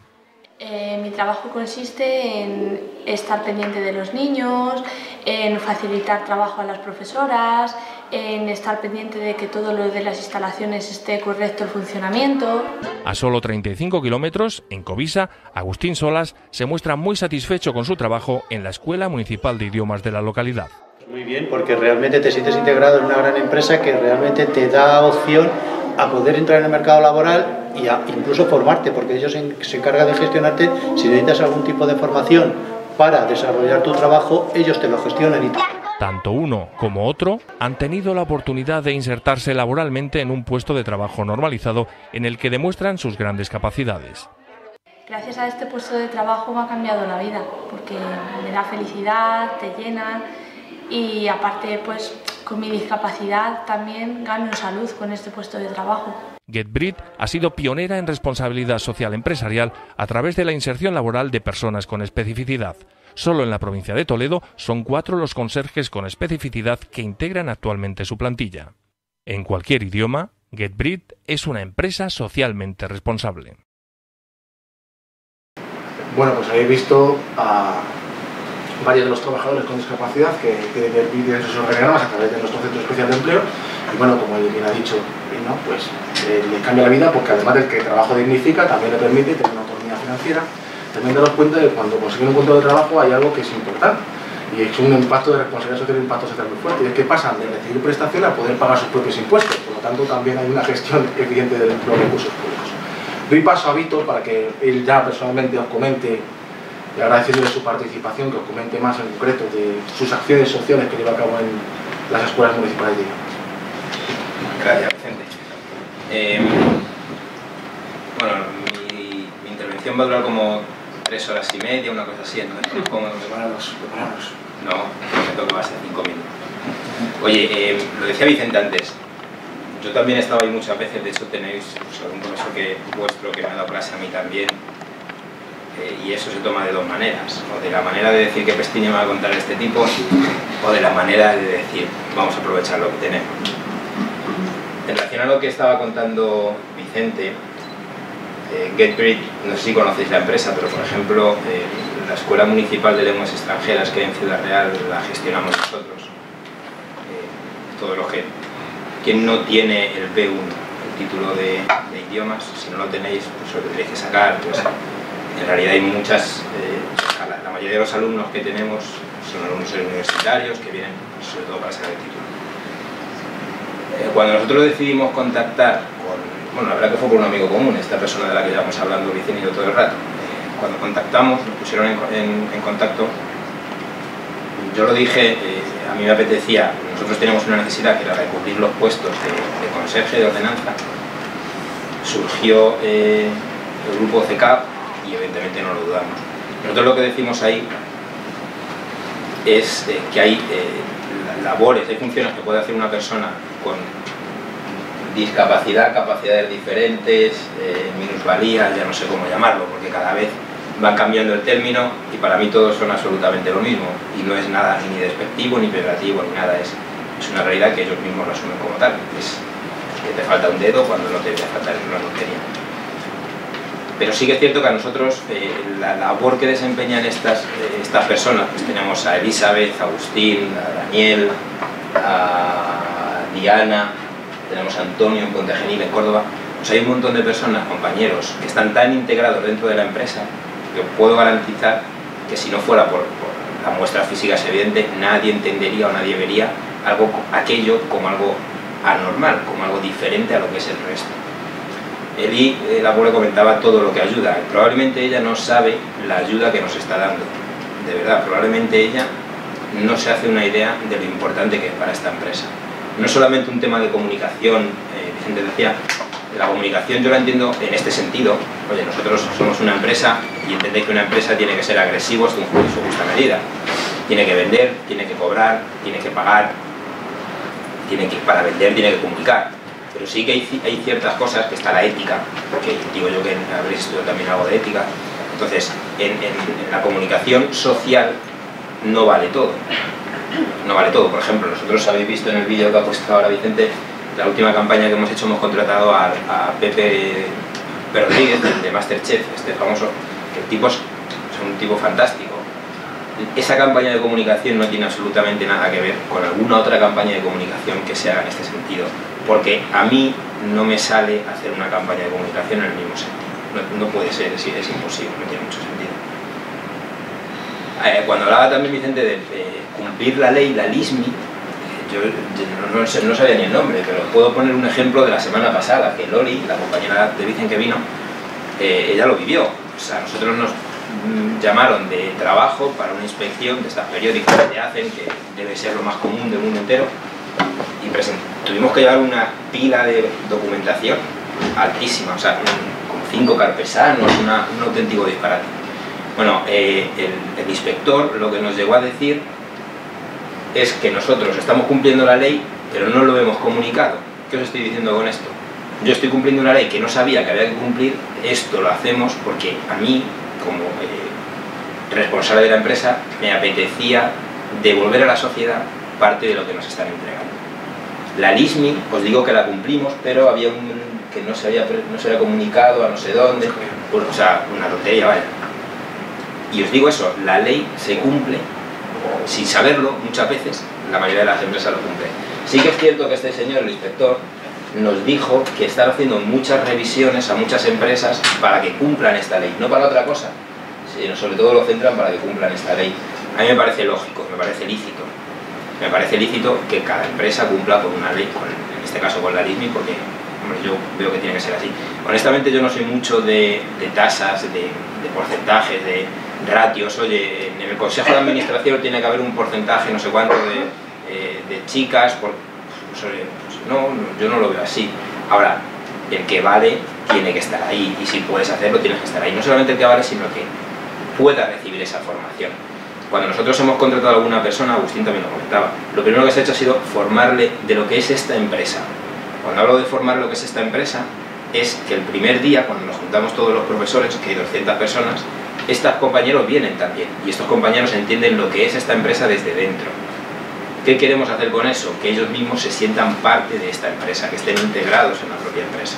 Solamente así, tanto ellos como nosotros, nosotros vamos a conseguir el objetivo que nos tenemos marcado, que es que Eli acompañe a los chicos, que haga la fotocopia de los profesores, que Agustín, yo he estado con Agustín en, en Covisa y esa imagen que salía, eh, acompañando a los niños, todos los santos días lo hace, todos. No hay un niño que salga solo de su clase y que no baje Agustín las escaleras y se la dé. O sea, no es una cosa que hayan preparado para un vídeo, es una cosa que hace absolutamente todos los días. La formación tiene que estar, la formación por parte de la empresa para que se integren dentro de la empresa, la formación por eh, los compañeros que nos ayudan a prestar este servicio, eso es fundamental y eso tiene que estar. Luego tiene que haber también, eh, ellos mismos asumen las actividades que realizan como propias y no os, eh, vamos, no os imagináis el sentido de responsabilidad que tienen de sus actividades. Lo veíamos también en el vídeo del Toledo. Yo puedo decir que tengo compañeros que los folios los dejan así, cuando lo lógico es dejarlo así. Estos cinco compañeros dejan los folios así, siempre. Es alucinante. ¿Qué quiere decir eso? El compromiso que estos compañeros tienen con su propia empresa es brutal. El retorno que la empresa recibe de esto es brutal. Y el retorno, no solamente el retorno de tranquilidad, de- el retorno económico es alucinante por la eficiencia que desprende. El retorno social es brutal. Y luego, evidentemente, pues a todo el mundo nos gusta que, nos, que hablen bien de ti, que te halaguen, porque digan, oye, pues esta empresa tiene no sé cuántas personas trabajando. Ya digo, de manera responsable. Eso no se vende. O sea, eso, yo siempre se lo digo a los compañeros de Vicente, a Vicente, oye, trabajar en una empresa como la vuestra, o te sale de dentro, es imposible, porque yo he estado en una asamblea, en la última, en la universidad de este año, y el anterior, donde a otro compañero, Andrés, pues van los chicos corriendo a abrazarle, eh, se le comen a besos, no le sueltan bajar el escenario y siguen abrazados con él. Eso lo hemos vivido los tres que estamos aquí, Agustín. Y yo cada año que voy a una asamblea muestra de esas veo lo mismo. Eso ya digo que tiene que salir de dentro, ¿no? Eso no se puede ni comunicar, ni vender, ni nada, eso sale solo. Em, bueno, yo no, no, no tengo mucho más que contaros, solamente eh, una recomendación, eh, evidentemente es, si tenéis oportunidad de contar, no solamente como, pues tenéis una empresa un día, montáis algo, contratáis a alguien, evidentemente todas las cosas hay que hacerlas paso a paso. También os digo que esta empresa nos- no ha contratado a todas las personas este año, o sea, el primer año de montar la empresa fuera. O sea, hay que ir haciéndolo poco a poco, hay que dimensionarlo y hay que hacerlo paso a paso. Pero os digo que la gratificación que vosotros tenéis, el retorno que vosotros tenéis desde el punto de vista personal, es, es brutal, ¿no? No, se puede vender, o sea, ni se puede vender, ni se puede cuantificar, ni nada, porque va mucho más allá de eso. ¿Que hay una ley que cumplir? Pues seguro, de la que yo no tenía absolutamente ni idea, hasta la semana pasada con la inspección esta. Pues estamos los técnicos. Eh, pero evidentemente el, el retorno que os da es, es brutal. Y las funciones que ellos desempeñan, en mi caso, yo no sé otro. Ah, una cosa, hubo que hacer un cambio y no, no nos tiembla la mano. A principio de curso se contrató una persona que no cumplía con las necesidades del perfil y se le dijo, oye, no puedes continuar. Ni dramas ni nada, pues oye, no puedes continuar, se sustituye por otra persona, se acabó.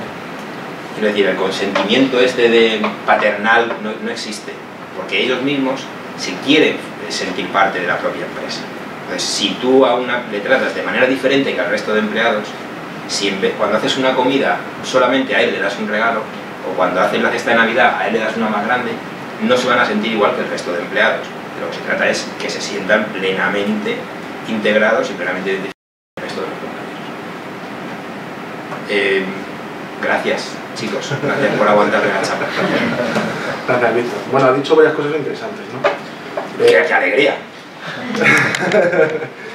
Primero que la, la- si os dais cuenta, la estrategia de responsabilidad social está integrada por todos, es decir, todos son conocedores de esa estrategia. ¿no? Es muy importante esto, ¿no? para que todos la entiendan y la comprendan, porque la cultura organizacional es algo muy generalizado. En segundo lugar, no, se, no es una estrategia o no es una acción que se meta presión dentro del modelo de gestión, hay que meterse de forma natural, Víctor lo ha dicho, no, esto no fue al principio, fue después cuando ya la empresa estaba preparada para ello, etc. Por lo tanto, esas son dos acciones importantes. Otra cosa, como veis, eh, la visión que tiene Víctor es totalmente de normalización. Ha puesto un ejemplo muy fácil para hablar de esa normalización. Había un chico que no cumplía con el perfil y no pasó su periodo de prueba. Y por lo tanto se le comunicó que no había pasado su periodo de prueba y ya está. ¿Por qué? Porque algo que tenemos que estar haciendo es, lo que tenemos que buscar, más, lo hablo por mí como entidades sociales, es que ellos también sean competitivos. Ellos también pueden ser competitivos. Cuando nosotros nos enfrentamos o a nuestro primer contrato laboral o a, nuestra primera demanda laboral o nos echan y tenemos que buscar trabajo, nos enfrentamos a una competitividad del mercado laboral, nos enfrentamos a que hay un al lado mío que tiene mucha más titulación, mucha más experiencia, etc. Nosotros intentamos que ellos también entiendan que tienen que ser competitivos y para eso tienes que formarte, tienes que enfrentarte a las exigencias que marca, si no pasas el periodo de prueba es malo, etcétera, etcétera. ¿no? Entonces, ese aspecto de normalización dentro de la, de la herramienta de la, de la acción social es muy, muy importante. Es un ejemplo de también de cómo ellos han incorporado en el- organigrama dentro de las acciones de responsabilidad social. Luego esto ya va mucho más, se engloba dentro de una estrategia global de comunicar, que hay que difundir, que hay que buscar resultados, etcétera, pero ya más a nivel empresarial. Pero como, como habéis visto, nace de lo que es una voluntariedad por parte de Víctor, además sea de la norma establecida, que dice, oye, yo quiero dentro de mi organigrama contratar a personas con discapacidad. Luego hay una fase técnica, que somos ya los técnicos los que nos tenemos que encargar de esto y quitarle los problemas a Víctor, que bastante, bastante tiene. Bueno, pasamos al ejemplo de Solis. Ya sabéis, bueno, todos conocéis a Solis, eh, la compañía aseguradora muy posicionada en la región desde muchos años. Eh, Eduardo es eh, responsable de su área social y cultural, es la, la persona que toma las decisiones dentro de lo que es la responsabilidad social de Solis. Nosotros tenemos una gran ventaja, nosotros nos enfrentamos a un tejido empresarial que son pymes, principalmente, ya sabéis, en la región de Castilla-La Mancha, por lo tanto tenemos la fortuna de cuando hablamos de responsabilidad social sentarnos con la gente que dirige las empresas y que toman decisiones. Como os había comentado antes, cuando nos enfrentamos a los departamentos de responsabilidad social que tienen muchas grandes empresas, tenemos un problema, que ellos no toman las decisiones, por lo tanto el proyecto, la acción que nosotros presentamos, su viabilidad y su rentabilidad se pierde por el camino. De hecho, luego cuando ellos mismos nos lo dicen, ¿no? cuando nos enfrentan a eh, equipos directivos, a sus altos directivos, evidentemente siempre quieren rentabilidad a corto plazo. Tenemos que olvidarnos de que la responsabilidad social tiene una rentabilidad económica a corto plazo. ¿vale? Entonces, bueno, tuvimos la, la suerte de poder contactar con Solis Seguros, eh, más que nada de un primer momento hubo muy buena sintonía por parte de, Solis, es uno de los grandes inversores que tenemos nosotros en nuestra fundación. Eh, le presentamos un proyecto que llevamos también que conllevaba la integración laboral de personas con discapacidad intelectual. Eh, desde el primer momento Solis nos hizo entender que, oye, yo quiero que se transformen en contratos laborales, es decir, que el impacto social sea muy, muy fuerte. Entonces, bueno, lo perfilamos dentro de un proyecto de responsabilidad social junto con ellos y luego también llevamos a cabo otro tipo de acciones, además de otras planificadas, pero también otro tipo de acciones que son a través de lo que denominamos nosotros voluntariados formativos, que son cuando, lo que os he comentado antes, cuando los chavales van a la empresa y se pueden enfrentar de una forma en práctica, son chavales que están en una fase laboral muy precaria, que no saben lo que es una puntualidad o que no saben lo que es el rol del trabajador todavía, pues enfrentarse a esos modelos normalizados que Solis, a través de abrirnos las puertas de sus empresas, pues nos permite que ellos se enfrenten a ello. ¿no? Entonces, bueno, eh, siempre hubo una muy buena sintonía, nos marcamos como objetivos sociales ofrecer las oportunidades laborales, el impacto social, como he dicho, está, estaba garantizado, se encuentra en una tasa de paro, por lo tanto, eh, habría mayor posibilidades de retorno, mayor impacto sobre la reputación, la legitimidad y la imagen corporativa, ofrecer la formación profesional a través de lo que os he comentado, los programas de voluntariado formativo, Cumplimiento de la legislación, evidentemente todo nacía de un cumplimiento de la legislación, la que os comento, ¿vale? Todo lo he puesto, además, si sé que estáis estudiando relaciones laborales, también para que lo sepáis, que ahí, ¿vale? Mira, después lo consultáis y todo. Y generar un fuerte impacto social, dando oportunidades relacionadas con el empleo a personas con discapacidad. Todo estaba muy relacionado con el empleo, ahora queremos eh, todavía abrir más las miras, porque bueno, eh, la responsabilidad social de Solis es muy grande. Eh, nosotros llevamos lo que es la parte a dar oportunidades a colectivos en riesgo de exclusión, ahora comentará más Eduardo, pero bueno, nosotros nos marcamos unos objetivos importantes y lo que hicimos el año pasado es firmar un convenio a tres partes. Por un lado, Soles como inversor, el cual financiaba eh, los contratos de seis personas con discapacidad intelectual. Nosotros asumíamos la contratación por parte de la fundación, que es la que recibía esa donación, y después le hacíamos y después cedíamos a esos trabajadores a la Junta de Comunidad de Castilla-La Mancha para que ellos, eh, en un proceso de digitalización, pudieran digitalizar documentos dentro de la Junta. Entonces, bueno, pues fue un convenio difícil, que ahora estamos pendientes a ver si, si lo renovamos o no lo renovamos, y si no, marcaremos otro tipo de estrategias, otro tipo de acciones. De tal forma que Solis, eh, dentro de nuestra gestión empresarial, cuando nosotros diseñamos la estrategia ya con ellos, hablamos de, oye, ya bajo criterio de transparencia, nosotros siempre hemos estado en contra que desde la fundación, cualquier donación que recibamos se quede en la fundación. Nosotros siempre hemos marcado que, oye, si decidimos una donación para chavales con discapacidad, lo principal es que llegue a esos chavales, no que se quede en mi estructura. De hecho, si y todos estáis invitados para visitarnos en cualquier lado, en cualquier momento, os vais a dar cuenta de que nuestras sedes sociales son pequeñísimas, solo estamos los trabajadores que tenemos que estar en esas sedes sociales porque nuestros recursos, nuestra infraestructura es mínima. Lo que queremos es que el chaval salga de nuestra empresa y pueda enfrentarse a esta gente que la acompaña. Por lo tanto, esa transformación de esa donación en contratos, luego lanzábamos esos contratos a un mercado de trabajo normalizado y ellos se podían enfrentar con su contrato de trabajo a esas exigencias del mercado de trabajo normalizado. Esto es una forma de colaboración con la que partimos en su momento, que luego se ha ido pues, diversificando. ¿no? Y entonces luego, como os comento, pues establecemos otra forma de colaboración, que es a través de lo que llamamos voluntariado formativo, en la cual chavales con discapacidad pues van a la sede de Solis a digitalizar documentos y se enfrentan a jefes de Solis se enfrentan a una puntualidad, se enfrentan a una exigencia social de poder sentarse con al persona sin discapacidad ninguna que tenga sus rollos o sus buenos o sus malos rollos, que siempre hay buenos rollos, porque las personas con discapacidad siempre buenos rollos, o por eso eso nos dicen, etcétera. ¿no? Entonces esa es otra forma de colaboración que ha diversificado en eso, porque ellos han querido ampliar esa acción de responsabilidad social. Con lo cual también el impacto social está garantizado y las estrategias de retorno también deberían de estar garantizadas. Objetivos, igual, como os he dicho, siempre objetivos intangibles, reputación, imagen corporativa, eh, satisfacción por parte de los clientes que vean a chicos con discapacidad, que Solis es una eh, aseguradora que se compromete con la gente de la, de la comunidad de Castilla-La Mancha, etc. Cumplimiento de la normativa, cosas, que buscamos la eliminación de sanciones, es decir, cuando viene una inspección de trabajo, como bien ha dicho Víctor, pues está una umbrella, etcétera, etcétera, y luego las ventajas competitivas en diferenciación, porque Solis es la única compañía de seguros que realiza este tipo de proyectos y este tipo de programas. Entonces, la importancia de la comunicación para difundirlo, pero puedo decir que es la única compañía de seguro que realiza este tipo de programas. Entonces, pasamos al vídeo de Solis y damos palabra a Eduardo para que os explique. Por segundo año consecutivo, Solis Seguros ha sido reconocida como la aseguradora más solvente de España. Con más de 80 años de historia, la aseguradora más solvente de España se fundó en Toledo en 1933. La entidad castellano-manchega es noticia además porque ha sabido encaminar sus pasos por la responsabilidad social empresarial de la mano del grupo CECAP.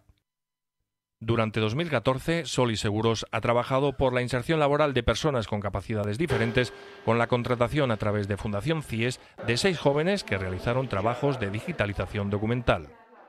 En 2015, Sol y Seguros ha dado un paso más al dedicar recursos de su área social a la formación laboral de jóvenes con especificidad para mejorar sus posibilidades de empleo. Gracias al acuerdo suscrito con Grupo CECAP, nueve jóvenes con especificidad se van a formar como digitalizadores en las propias oficinas centrales de Solis. Utilizando metodología propia, un profesional de CECAP apoya a estos jóvenes en su proceso de capacitación laboral. Pues digitalizando las pólizas, digitalizando pólizas. Bueno, es que sido, es que eso hemos de menos, pero ah, aquí es más cómodo. Pues suelo venir, suelo venir un- una vez o dos a la semana para asegurarme que el trabajo que están realizando lo hacen de forma correcta, llevar un poco el registro de la- las pólizas o los documentos que van digitalizando a lo largo de cada día y pues nada, asegurarme de que todo vaya bien y de que, de que su proceso de capacitación vaya evolucionando de forma positiva. El resultado es evidente y demuestra las altas capacidades de estos jóvenes para el trabajo. Hago 14 expedientes y 120 de documentos. La aseguradora más solvente de España, Solis Seguros, muestra así su compromiso con su tierra y con sus gentes, trabajando para seguir siendo una gran empresa socialmente responsable. Muchas gracias, Soli.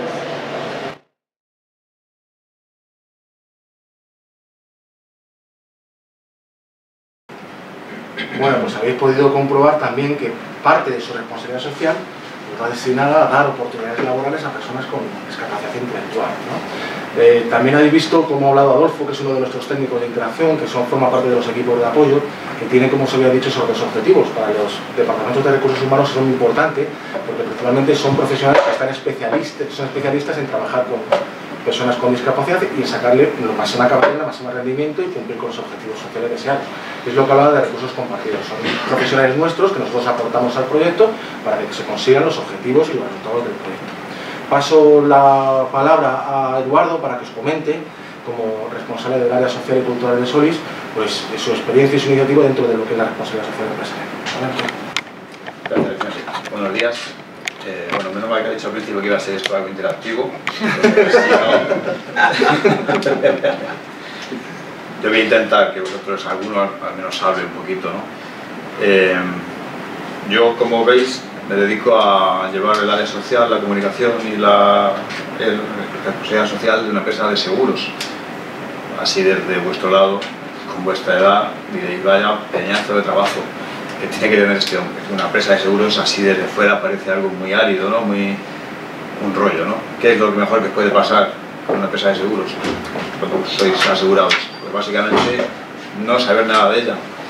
Porque quiere decir que no tenéis ningún siniestro, ni os habéis dado golpe con el coche, ni os habéis eh, dejado el grifo abierto, ni os ha pasado nada que os haga tener contacto con esa empresa. Pero claro, para nosotros eh, sería mal negocio si nuestros asegurados nunca saben nada de nosotros, porque en el momento que llega el- la hora de renovar el seguro, pues a lo mejor se acuerdan de otra compañía que ha contratado a Naval o a Matías Prats o a Del Bosque y le mueven el seguro y nos hemos quedado sin un cliente. Entonces, el equilibrio que tenemos que alcanzar entre que se nos conozca, se hable de nosotros y de lo que se hable sea algo positivo y amable, pues no es fácil, sobre todo cuando trabajas con unos recursos limitados en comparación a los que pueden tener esas empresas que sí son capaces de pagar a Rafa Nadal o a Matías Prats o a Vicente del Bosque. Nosotros somos una empresa eh, toledana, regional, con los recursos de una empresa regional. Bien, es cierto que tenemos 100.000 clientes que llevamos, por ejemplo, en Ciudad Real, eh, del año 94. Todos, si os gusta el balonmano, por ejemplo, sabréis que aquí patrocinamos al Caserío, como ya hicimos hace muchos años. Tenemos la oficina en Ciudad Real hace mucho, hace mucho tiempo, en la calle Reyes, pero tenemos que estar pendientes de que se nos oiga, se, se nos escuche continuamente. Eh, en eso tiene una parte importantísima la comunicación y la responsabilidad social es una parte vital de, de esa manera de interactuar, una manera amable y, responsable con la sociedad. Por ir por partes, como no ha podido venir eh, el presidente del Toledo, y ya que se nos ha mencionado, pues imaginaros para nosotros lo importante que es que se nos asocie a cosas positivas. Un patrocinio no busca nada más que notoriedad de marca de una manera positiva. Evidentemente, cuando patrocinamos al Toledo, si el Toledo gana partidos, mucho mejor. Si el Toledo asciende, mucho mejor. Pero qué importante también es que ese club tenga una imagen positiva. Imaginaros ahora lo difícil que va a ser, por ejemplo, para Osasuna encontrar un patrocinador. ¿Verdad? Pues claro, cuando yo entablo una negociación con el presidente del Toledo, evidentemente no me, no me cuenta todo, ¿no? Pero yo me gusta tener con las personas una cierta interacción que me permita conocer un poco por dónde va esa persona, por dónde va esa institución, qué rezuma, qué valores desprende. Y para una marca como nosotros, que encima vendemos seguros, que es una cosa intangible, nosotros no vendemos esto, que podría decir la empresa que fabrica este plástico, pues es transparente, es duro, es bueno. Un seguro es algo intangible, lo mejor, como decía al principio, es que no tengas ningún conocimiento de ese producto en todo el año. Es complicado entablar relaciones con empresas que vendan bien tu producto cuando es intangible. Pues el Toledo es una de esas acciones que, aparte de que el club vaya bien, queremos que tenga una, una actitud amable y responsable ante la sociedad. Y el vídeo que habéis visto pues es muy buen resumen de lo que es esa institución hoy en día. Un, una institución humilde, pero que dentro de su humildad es eh, socialmente responsable y ejemplar, también eh, pues, están aquí en esta mesa. En la otra parte, la que habéis visto de, de, de los chavales con especificidad, pues eh, para nosotros, y lo que quiero muy claro, que no estamos haciendo ninguna obra de caridad, ¿vale? Es muy importante destacar esto, porque vosotros dentro de nada seréis gestores o empleados de empresas grandes y pequeñas, y a lo mejor toca tomar decisiones en el sentido este de aplicar la ley LISNI o aplicar la responsabilidad social, no estamos hablando de caridad, ¿vale? Es una cosa que seguramente ha quedado implícita en las palabras que he dicho Vicente todo este rato. Estamos hablando de normalización, de tratar a estas personas como lo que son personas en muchos aspectos más válidas que cualquiera de nosotros para ciertas acciones. Nosotros como empresa, como bien habéis visto, de 82 años, del año 33 hasta acá hemos generado documentación a expuertas. Documentación mucha de ella generada en la, en la época analógica, previa a la, a la, era digital, que hace que hoy tengamos todos los documentos en formato digital. Muchas de esas pólizas siguen en vigor. Eh, hay mucha gente que lleva con Solis a lo mejor 50, 60 años, incluso tenemos algún mutualista. Imaginaros qué fidelidad, qué bonito es también eso, pero eso documentalmente es un problema informático. Pues esas pólizas había que pasarlas a formato digital y cuando nos enfrentamos a ese reto, porque la tinta, como bien sabéis, se va diluyendo y hay pólizas que corríamos el riesgo de que se perdiera la información, pese a estar en vigor, pues teníamos el reto de digitalizar todo eso. Y vimos este, esta opción de encargar, como una empresa más, profesionalmente eh, válida, validísima, encontrar estas personas fue para nosotros una, un alivio enorme. Como os digo, no es calidad, es encontrar un servicio profesional con una calidad excelente. Os puedo decir, Vicente los, tendrá los datos mejor que yo, qué porcentaje de, de, de error dan estos chicos a la hora de digitalizar. 0,05%. 0,05%.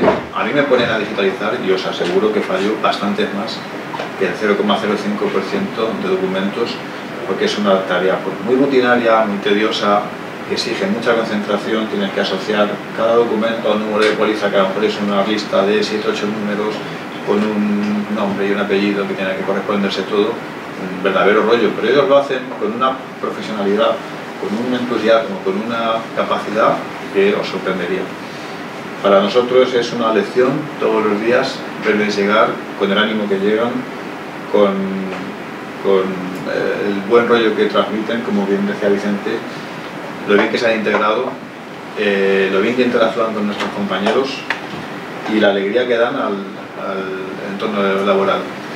Con lo cual, como os decía al principio, no es que también un cumplimiento legal, no es que también mejorar nuestra imagen, es eh, la plasmación de lo que decíamos al principio, de algo en lo que nosotros creemos como marca, eh, primero como personas, luego como marca.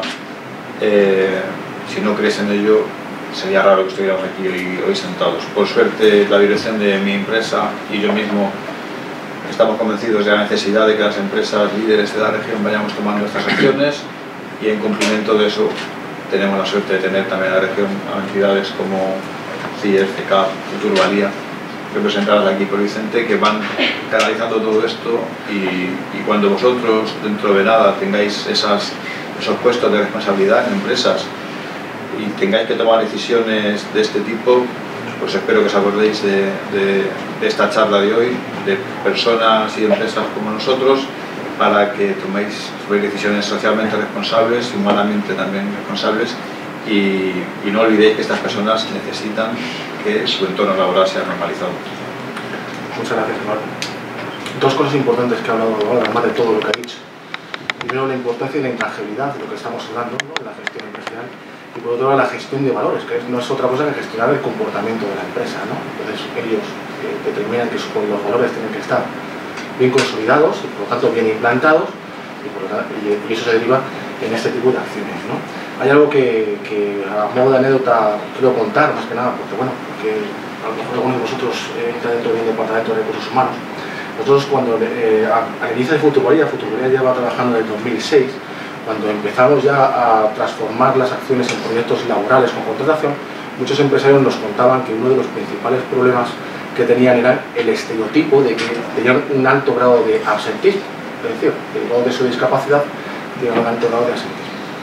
Eh, eh, llevamos a cabo un proyecto de digitalización con una entidad financiera, la directora de recursos humanos nos transmitió este, este problema, ¿no? esta preocupación por su parte, oye, que estos chicos faltan tal, ¿no?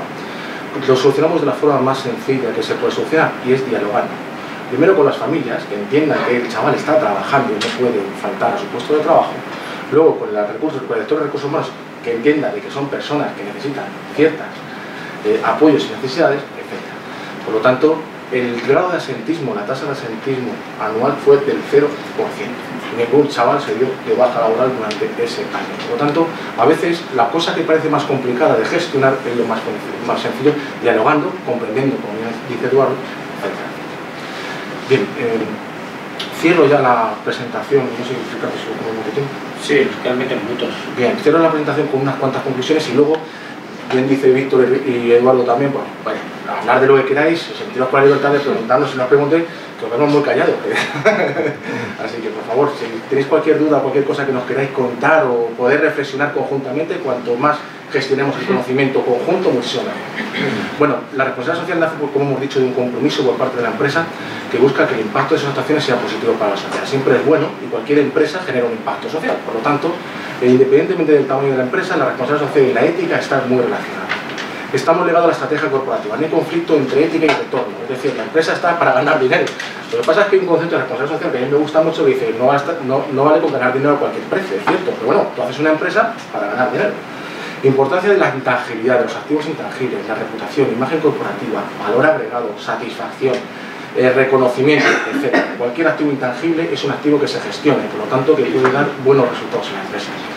La clave para conseguir retorno tangible es la forma de gestionar esos activos intangibles. Nos estamos encontrando que cuando hablamos con empresarios, no es el caso con las dos personas que me acompañan, pero muchos empresarios con los que hablamos no saben gestionar mucho la intangibilidad de su empresa, no saben salir de su balance de su cuenta de resultados. Bueno, pues de todo se aprende, ¿no? Y yo creo que eh, la universidad como fuente de conocimiento, yo creo que el mejor marco que la universidad para presentar este tipo de actuaciones.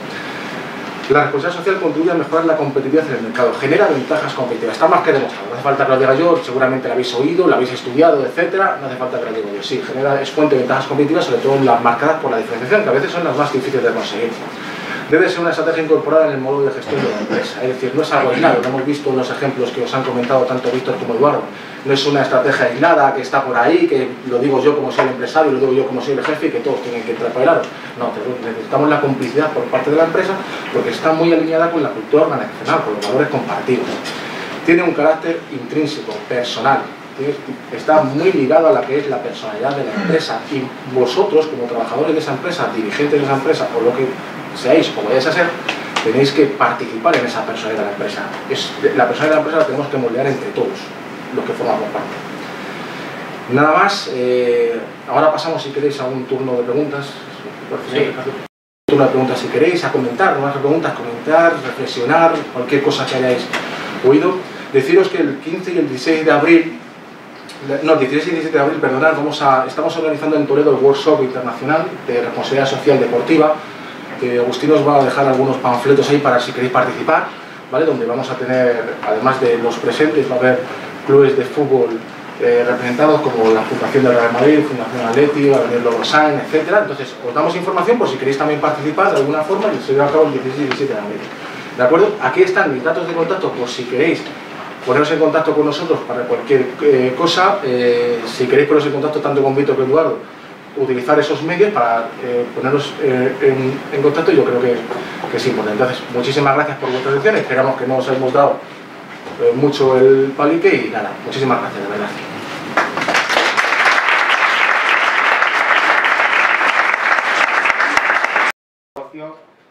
que, que en teoría no solamente es económico. Es como un itinerario formativo individualizado, es decir, y es- nos hemos dado cuenta que ese- ese- esa herramienta nos permite saber dónde el chaval tiene capacidades para trabajar. Hay chavales que salen capaci- capacitados para trabajar como ordenanzas o como auxiliares administrativos y otros que salen pues en empaquetado, etc. ¿no? Es un proceso tardío, es un proceso costoso que no está sujeto a una temporalidad.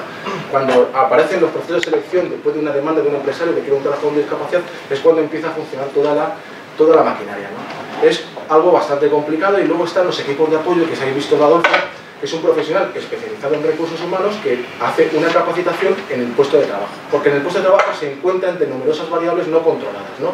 Se encuentra ante un compañero que no sabe cómo tratar con él, por lo tanto se le explica al compañero cómo tiene que dirigirse, se encuentra hasta... eh, pautas dentro del rendimiento importantes, por ejemplo, nuestros eh, profesionales de área laboral analizan hasta los pomos de las puertas para ver si el chaval tiene capacidad suficiente para abrir la puerta.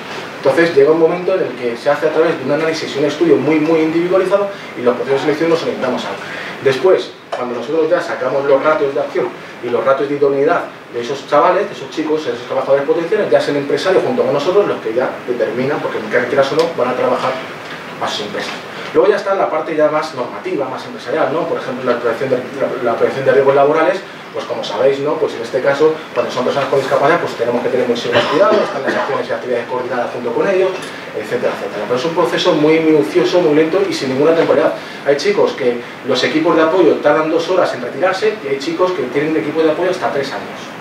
¿eh? ¿Por qué? Pues porque tiene una mayor dificultad para enfrentarse a las exigencias sociales normalizadas. Lo importante y nuestra filosofía es que se enfrenten a ellos, es decir, que se enfrenten a pautas sociales totalmente normalizadas, no a que vengan a nuestra estructura, sino que no que la sociedad se adapte a ellos, sino que ellos se adapten a la sociedad. ¿Más? Yo tengo dos preguntas para todos un poco general. Primero, decir que ha sido muy interesante la ponencia de los tres y seguidamente decir, eh, ¿son contratos en prácticas o son contratos eh, normales? Y la segunda pregunta es si reciben ayuda del gobierno, ustedes como empresarios, reciben ayuda del gobierno por contratar estas personas. Yo no. Yo te digo que no. Ahora No, de, de hecho lo que hacemos es evitar una multa. Primera sanción. Una pregunta, se nota que soy de relaciones laborales, ¿eh? No hay todo a... Sí, mira. eh, con respecto, sí, vamos a ver, los proyectos laborales tienen dos funciones. Una función ya cuando el chaval está preparado, está en un estado de aprendizaje que nosotros llamamos generalización, en el cual el chaval ya se puede enfrentar a lo que es un contrato de trabajo, entonces ahí sí que los proyectos se transforman en contratos laborales.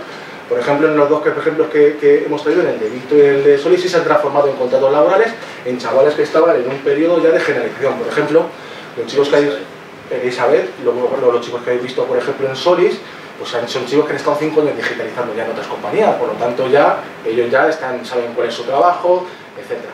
Pero luego también es muy válido lo que son los voluntariados formativos, en los cuales los chavales no se, encu- se encuentran en un periodo precario, que no se encuentran ninguna experiencia laboral, y lo que firmamos es un acuerdo con una empresa para que la empresa nos permita abrir sus puertas y que se enfrenten a las exigencias sociales totalmente normalizadas. Esos son acuerdos en prácticas. A veces son becados, por ejemplo, en el caso de Solis también está empezando a becar a chavales para cubrir gastos, como por ejemplo de desplazamientos, etcétera, pero normalmente se firma un acuerdo con la empresa en la cual se cubre totalmente, se asegura lo que es el alumno en prácticas y está dentro de no un contrato ni formativo ni nada, sino simplemente que nos permiten a nivel metodológico poder enfrentarnos a esas pautas sociales. Con respecto a tu segunda pregunta del tema de las ayudas, sí, nosotros recibimos por reci- recibimos una ayuda que nosotros siempre hemos partido de la idea de que esa ayuda tiene que llegar al contrato del. Mirad, nosotros hace cinco años, la ayuda consiste en, una- es un centro especial de empleo y consiste en que por cada contrato laboral no subvencionado por otro organismo público, la Junta de Comunidades, en, este caso la Consejería de Trabajo, te da el, 70 el 50% del salario mínimo interprofesional, ¿vale? Entonces, recibes aproximadamente, para que os hagáis una idea, por un contrato de media jornada son 165 euros. Nosotros siempre partíamos del hecho de que esa ayuda no, no se tiene que dar en una estructura, tiene que llegar al chico o al empresario que contrata al chico de alguna forma. Entonces hicimos una fórmula en el 2008 que nos permitió aumentar nuestra plantilla en un 72%. Y eso consiste en una sencilla razón. yo facturo una prestación de servicios al empresario, pero inyectando la ayuda, por lo tanto la facturación a nivel de costes es mucho menor.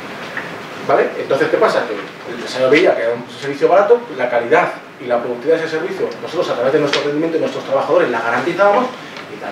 Normalmente lo importante de las ayudas es que no se queden en la estructura de las entidades sociales, es decir, sino que se lleguen directamente al chico y al chaval. Recibimos esa ayuda, luego evidentemente de las entidades que os he mostrado, pues prácticamente CK, por ejemplo, está mantenido en un eh, 86% por la Junta de Comunidades dentro de la Consejería de Sanidad. A mí mi sueldo me la paga la Junta de Comunidades de Castilla-La Mancha dentro de los programas de inserción social laboral y mantenimiento de puestos de trabajo. Es Fundación la que recibe ya inversión privada y la que se mantiene totalmente con inversión privada. Pero sí, como entidades sociales decimos, ellos no. Lo que pasa es que luego el empresario, si contrata al trabajador de forma indefinida, pues tiene sus bonificaciones en los seguros sociales, etcétera, etcétera. También tiene una ayuda directa, que creo que está ahora mismo en 3.700 euros o algo así. Si el contrato directamente, eh, un indefinido. Pero claro, fijaros, si vamos a ver, si ahora mismo contratar a un, un contrato indefinido no es que esté valorado dentro del mercado de trabajo, es que es casi imposible. Entonces, claro, con mucho incentivo y muchas ayudas a la contratación que quieras dar, de hecho sacaron hace poco la Junta de Comunidades una ayuda, que, pero las exigencias de la ayuda era mantener al trabajador durante tres años, digo la verdad, cuando nos encontramos con la dinámica y la presión del mercado, decimos, oye, ¿quién va a estar en el mercado dentro de tres años? A saber dónde estoy tres años. Entonces, no puedo, a lo mejor no puedo garantizar el compromiso de cumplir con ese contrato y mantenerlo durante tres años. Entonces esas ayudas, en mi opinión, y mi humilde opinión, y es totalmente discutible, no sirven para mucho, no incentivan lo que es la contratación. Nosotros como entidad social lo hacemos y dentro de nuestra filosofía es que, que no se quede en nosotros, sino que de alguna forma llega al empresario o llega al trabajador. De lo que se trata, sí, sí, sí, claro. de lo que se trata de lo que estamos diciendo antes de la normalización de los compañeros. O sea, yo te digo que a las comidas de empresa vienen estos cinco compañeros y tienen el mismo eh, para nosotros tienen el mismo tratamiento que tienen los la cantidad de profesores que tenemos por ahí. Tienen un contrato por las horas que hacen, un servicio que es, suele ser de septiembre a, a, junio, o sea, lo mismo que el resto de compañeros de la empresa. Pero lo decía bien, se trata de que ellos mismos se sientan integrados dentro de la propia empresa, ellos mismos hagan las funciones que tienen que hacer dentro de la empresa y si no las pueden hacer, no puedes trabajar aquí. Como nos pasaría a cualquiera de nosotros si mañana no reportamos el beneficio que tenemos que reportar, como sea, social, económico, como sea. Fijaros que los, ahora mismo pero incluso cuando nosotros contratamos y nosotros prestamos el servicio a la empresa, eh, estamos trabajando y estamos luchando mucho para que incluso hacer una medida de responsabilidad social muy importante a nivel genérico, y es que los convenios que regulan la contratación de las personas con discapacidad sean similares al de un convenio que no regula la de personas con discapacidad. Es decir, un operario dentro de un convenio estatal que no tiene discapacidad puede cobrar incluso hasta 300 euros más al mes que un operario en la misma categoría que tiene con discapacidad. como dice Víctor, la normalización desde la base. ¿no? Para la normalización todos juntos desde la base. ¿no? Más preguntas. cinco minutillos. Si queréis hacerle vosotros una pregunta a ellos. Esa pelota nunca la hayan puesto en mi tejado, ¿eh? Esa es la gran oportunidad que tenéis. Para que luego... ¿Vosotros elegiríais un producto de una marca que fuese eh, en el producto que fuera valorando este, este tipo de acciones? ¿Vosotros como consumidores lo valoráis? ¿Quiénes, levanta la mano, quiénes comprarían un producto conociendo las... o por ejemplo contrataría un seguro con Solís o iría a las clases de idiomas de, de, de, GetBrit o cualquier otra empresa que, que supieras que es socialmente responsable, ¿le elegirías a otra o tendrías en cuenta otras variables como por ejemplo el precio, las características, la campaña de marketing o que lo que sea, no sé. Es que en España siempre hablamos de la responsabilidad social del Estado, de las empresas, pero también hay que hacer un poco, y yo también soy consumidor de otras cosas, ¿eh?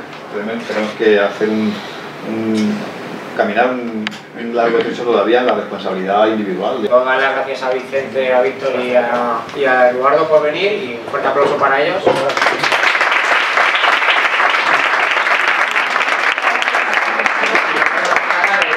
Finalizando.